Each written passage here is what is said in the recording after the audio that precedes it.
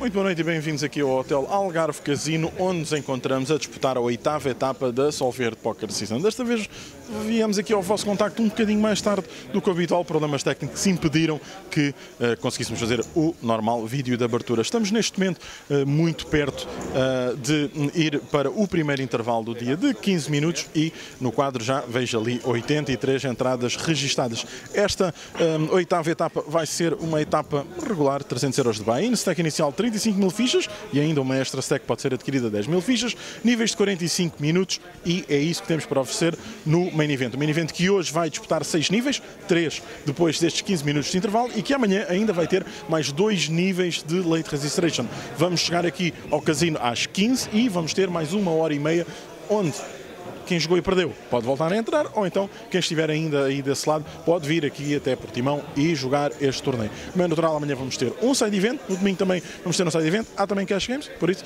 já sabem, se quiserem jogar póquer, venham até aqui Portimão, Hotel Algarve Casino. Se ficarem em casa, acompanhem tudo, Live Report, PokerBT.